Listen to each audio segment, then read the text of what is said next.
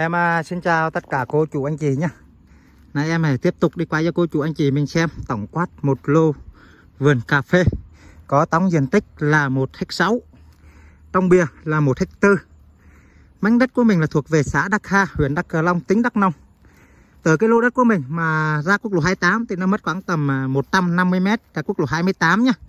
Đất của mình thì nằm trong khu dân cư. Từ lô đất này mà đi ra hướng giác Nghĩa là cái tầm khoảng cỡ là 18 cây đến 20 cây. Còn lại á, này, vườn của mình còn về hướng Sài Gòn là 260 cây nhá. Về hướng Lâm Đồng là 100 cây số. Chất đất của mình là chất đất đó ba gian. Mình có là hồ lớn này. Một cái hồ lớn. Đó, cà phê của mình là như thế này, có sen sầu riêng. Đó. Một hecta sáu, bìa là một hectare. Chất đất đó ba gian bây giờ cô chú anh chị mình theo chân em để mình tiếp tục tham quan lô vườn. Thì lô vườn của mình là có cà phê, cô chú anh chị. Có cà phê này. Cà phê tơ, có cà phê già có là cô chú anh chị ạ. Đấy, trong đó là có sen thầu riêng. Nhà cửa điền nước đầy đủ hết nha. Hệ thống tưới, nhà cửa điền nước đầy đủ hết. Đó. Có sen à, tầm gần cả trăm cây sầu riêng lớn lớn thế này, cô chú anh chị. Đó. Anh chị mình à, đang quan tâm à, đến lô vườn này thì liên hệ sớm cho em nhá. Thì lô vườn này hiện tại bây giờ, thì gia chú á, thì họ đang báo giá cho mình là một tí chín có thương lượng. Cách quốc lộ 28 là khoảng tầm 150 mét thôi, không xa. Đất thì nằm trong khu dân cư, nhà cửa điền nước đầy đủ hết. Chất đất là đất đó ba gian không sói đá nhá, đất của mình bằng và thoải nhẹ.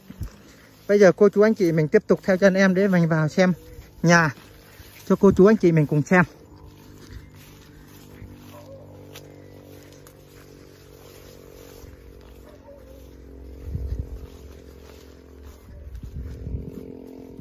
Bây giờ cô chú anh chị mình tiếp tục theo cho anh em nhé.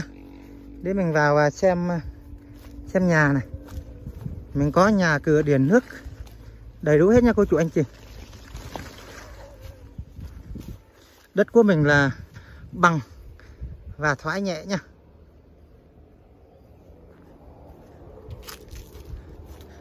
Ở đây là mình có nhà cô chú anh chị này. Em quay nhà cho cô chú anh chị mình cùng xem này. Ở đây là mình có cái nhà tạm này. Đấy. có căn nhà tạm. Đây em quay cô chú anh chị mình cùng xem đây.